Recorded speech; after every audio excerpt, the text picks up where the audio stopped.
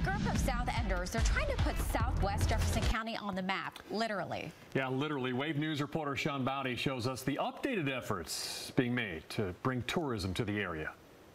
The Southwest Dream Team, a group of advocates for Louisville's South End, is making another effort to showcase what the area has to offer. Before the COVID pandemic, the organization had one way to promote their community. Now they're going to try something else. Back in 2020, the Southwest Dream Team came out with a South Point Scenic Area Map. It's a map with a list of destinations and events that you could explore for the year to come. Obviously, the rest of that year didn't exactly go as planned. This map's a little out of date. They're taking a different approach, though, now. We've got these rack cards, 100,000 of them that you could find throughout the city.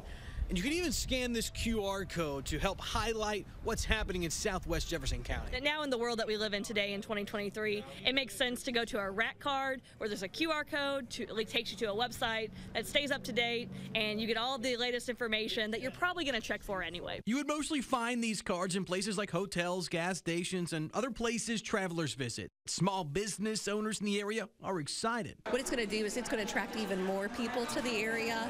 Um, there are so many hidden gems um, in South Louisville and Southwest Jefferson County, and this is just going to highlight those to everyone and hopefully draw more people out. They have never been to this area or uh, very infrequently visit us. Melissa Miles owns two businesses along Dixie Highway. Miles tells me out of town visitors aren't the only people who can support local shops. You have uh, a choice of where to shop and where to spend your dollars, and Southwest Jefferson County has all of those options available to everyone. You can find the map on the story at wave3.com. In Louisville, Sean Bowdy, Wave News.